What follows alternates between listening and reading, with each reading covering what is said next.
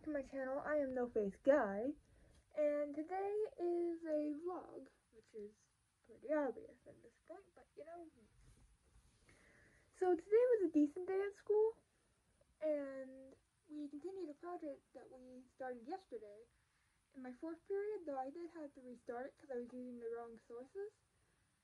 And we are also supposed to do an interview for the project as well, but we don't have to do that now according to the teachers, which is fine by me because that would have been really awkward trying to get an interview with someone. It's like a career, it's like a report on an occupation you want to go into, or you can do a presentation either or. I'm going to probably do a presentation because it's a bit easier and would make more sense, at least for me. And I chose mental health counselor because that's what I want to, at least the least of what I want to be at when I grow up. The most I want to be is potentially an art therapist but at the least a mental health counselor, which is probably also what I'm gonna aim for. So, uh, and then in my fifth period class, we took a quiz, and I think I actually did really well on it, but I haven't gotten my score back yet, so I'll see when I see like what my score is then when I get back. And we continued the test that we had started yesterday in my sixth period class, and think I did. Mm, I got I didn't complete the last two questions, but we're getting more time to complete it tomorrow. But um, what I did do, I think I did a, like kind of good on. But for the multiple choice part of the test, I got a 51.7 on it, which is an F, which is my lowest score that I've gotten on a test, at least in that class. Actually, even this in this entire year which is horrible. So I know why, because my brain wasn't retaining any like information I was studying when I was studying. So I didn't really remember anything, which sucks. But it also my memory, so it's like I'm not surprised. So uh yeah. Anyways, um there were some annoying things that happened today. Some others. So uh and I was heading to my first period, and a guy glanced down at me and called me a slut as we passed by each other. And it's like, no. Like, yes, I may be wearing many shirts, but it's like, that doesn't mean anything.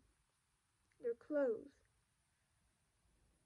And it's like, and they're comfy. And they were right for the temperature today. So it's like, doesn't mean that that does not mean that. Anyways, um, I was heading to my second period. No, yes, my second period, and a girl behind me asked her friend why the femboy is here, and it's like, I mean, at least you see me as a guy, which is nice. Um, and also, I'm here because at school and I don't like missing school so.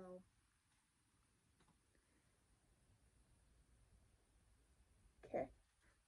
Anyways then I was heading to sixth period and the guy glanced down at me and called me a fucking duck which okay I I'm not that actually is a bit confusing and actually a little bit funny to be called that because it's like okay that's random.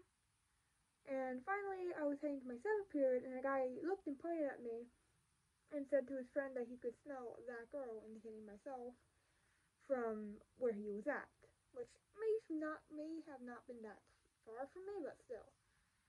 And it's like one, not no, not a girl. I am a person. I am a person.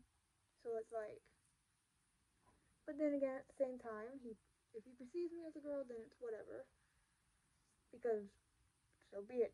I'm not going to correct you, but, or at least in person, I'm not going to correct you. Online, maybe a different story, but I won't be harsh about it. Because it's like, if you perceive me as whatever, it's perceive me as whatever. So it's like, mm. But just so you all know, I am a person. I am also gender fluid. So my gender goes so, anyways, and also, I don't think I smell bad, so, uh, No. Anyways, I also hit five weeks clean today, which is awesome. Though, and I've also been like noticing just how depressed I I've been lately, or actually for the past while. And it's because like me and my therapist have been going through like trying to help me relearn how to express my sadness and stuff, which and I absolutely hate it because I really just want to like not allow my feelings of sadness to exist and like just ignore them. But I also shouldn't do that because that's not healthy and it's really affecting many different parts of my life.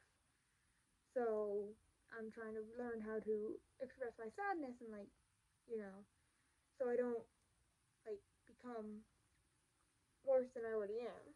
So uh yeah. Anyways, that's all for today's clip. So I will see y'all later.